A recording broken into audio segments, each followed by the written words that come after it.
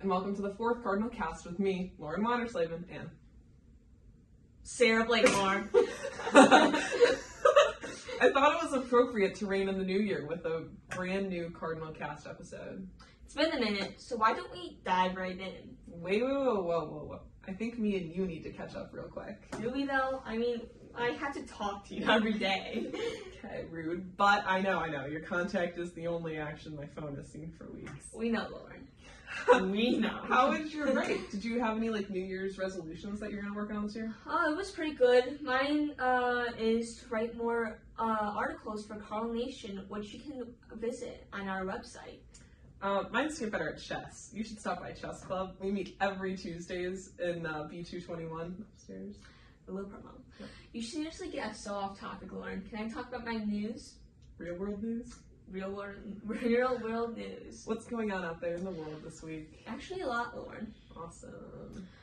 Well, Brazilian police are responding to Sunday's last attack after supporters of far-right leader Bolsonaro uh, attacked the capital.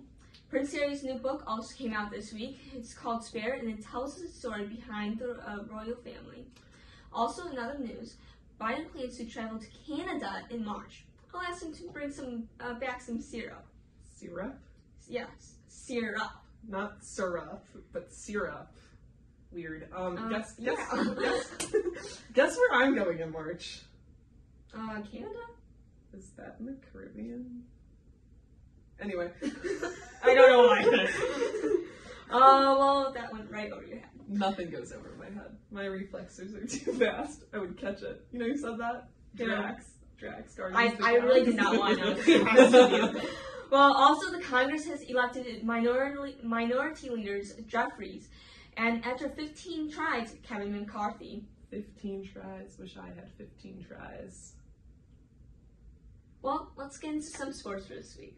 All right then. The girls rugby team is looking for new members to join. Check out their table in the student center. Yeah, pretty good. The boys hockey team is playing a home game on the 20th. Let's hope to see everyone there with their full support. And the boys basketball team defeated Euclid with a score of 67 to 58. We hope to see everyone at their game this Friday. Congratulations to all the sports that won their games this week, and best of luck to the other ones.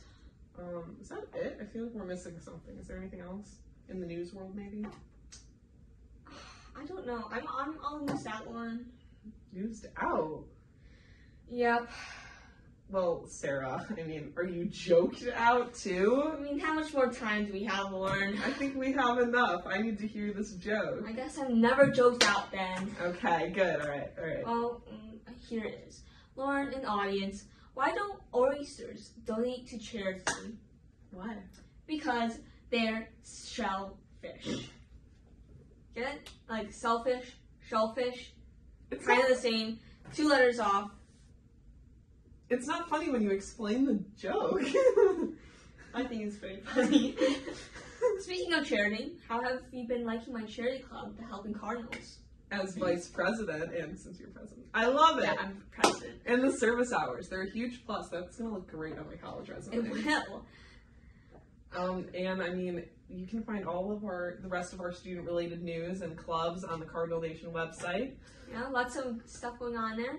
Well, that's it for today. See you next time. Ciao. Hasta la vista. Adios.